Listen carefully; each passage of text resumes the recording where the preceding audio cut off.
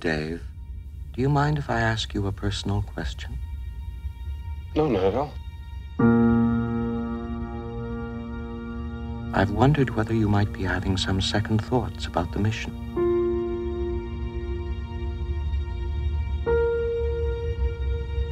How do you mean? Rumors about something being dug up on the moon.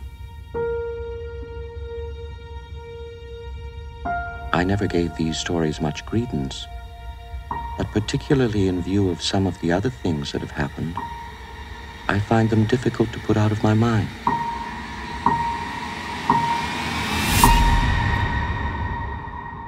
Open the pod bay doors, please, Hal. Open the pod bay doors, Hal. I'm sorry, Dave. I'm afraid I can't do that. What are you talking about, Hal? This conversation can serve no purpose anymore. Goodbye.